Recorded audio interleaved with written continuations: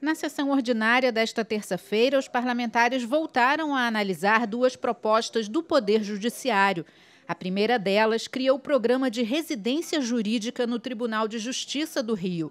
A residência jurídica vai ser destinada a bacharéis em direito que tenham concluído o curso há no máximo cinco anos ou que estejam cursando pós-graduação na área. O texto foi aprovado e segue para sanção ou veto do governador. Outra mensagem do Poder Judiciário altera a organização administrativa do Tribunal de Justiça do Estado. De acordo com o texto, as comarcas do Rio serão classificadas como comarcas de entrância única, sem distinção do local em que funcionam.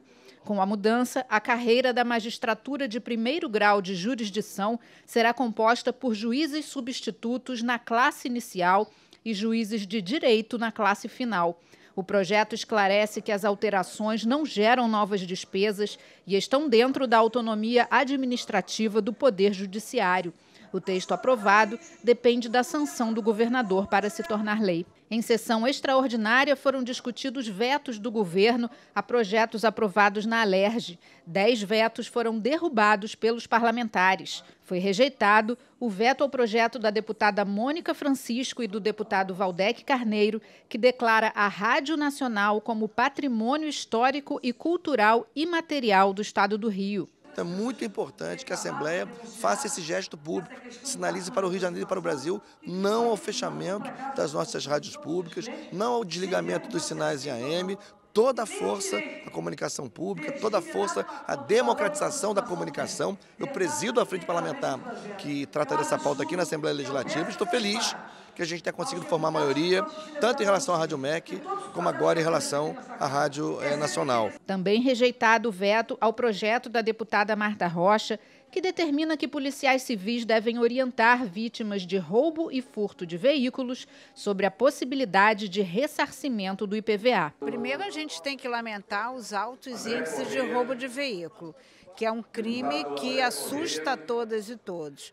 E o que o nosso projeto pedia era apenas que o policial, no momento da confecção do registro de ocorrência, alertasse a vítima que ela poderia comparecer ao Detran e pedir o ressarcimento do IPVA. Um debate contundente com a liderança do governo, nós convencemos da importância de que a vítima possa ressarcir, ser ressarcida do valor do IPVA e para isso é importante que ela seja orientada pelo policial. Recebeu veto parcial o projeto da deputada enfermeira Rejane, que cria o programa de atendimento integral à saúde da pessoa surda para ser implantado nas unidades de saúde públicas e privadas do Estado.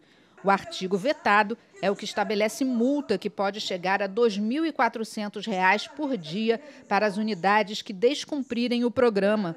O valor foi considerado excessivo pelo Poder Executivo, mas o plenário rejeitou o veto e a lei vai ser publicada na íntegra. Unidades hospitalares de emergência do Estado devem oferecer treinamento aos profissionais para controle de risco, preparação e atendimento às vítimas em caso de desastres ambientais.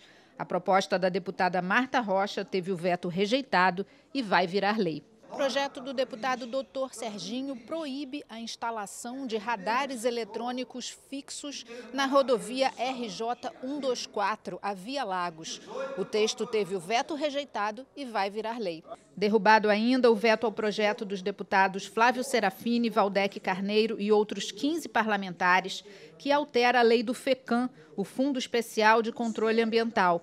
Entre as modificações, a destinação de 2,5% dos recursos do fundo para a implementação da Política Estadual de Desenvolvimento Rural Sustentável, Agroecologia e Produção Orgânica, aprovada na Alerj. A proposta vai virar lei. O Brasil é recordista mundial no uso de agrotóxicos e a gente precisa avançar para uma produção mais saudável, que tenha mais alimentos sem nenhum tipo de veneno, que são os alimentos orgânicos, e aqueles que estão diminuindo o número de agrotóxicos, de é, fertilizantes, etc., buscando ser alimentos mais saudáveis até alcançar é, a possibilidade de ser um alimento também sem nenhum tipo é, de químico, de fertilizante químico. Então essa lei ela faz com que a política estadual de agroecologia e produção orgânica tenha fonte de financiamento. Então a gente espera nos próximos anos ter cerca de 20 milhões por ano fortalecendo agricultores que queiram produzir de forma mais saudável, sem veneno, botando comida na mesa da população. O deputado subtenente Bernardo quer criar regras para o reboque de motocicletas no estado. O parlamentar quer que sejam utilizadas nas operações de remoção uma carreta reboque própria para o transporte desses veículos, equipada com amarrações que levem as motos em segurança. O transporte em carroceria de caminhões fica vedado pela lei. O veto ao texto foi derrubado e a proposta vai virar lei. Analisado também o veto ao projeto que autoriza o Estado a criar um programa de conscientização da população para doações, reaproveitamento e distribuição de medicamentos em condição de uso. O programa Farmácia Amiga também deve orientar sobre a destinação final adequada para medicamentos que não possam mais ser utilizados. O veto ao projeto do deputado Carlos Macedo foi rejeitado e a matéria vai se tornar lei. Doadores de sangue e de medula óssea vão ser incluídos nos grupos prioritários para receber vacinas gratuitas no estado do Rio. O projeto da deputada Marta Rocha teve o veto rejeitado e vai virar lei. Fóruns, delegacias de polícia civil, unidades da polícia militar e estabelecimentos prisionais podem ser obrigados a oferecer pelo menos seis vagas de carros para advogados que estejam no exercício das funções.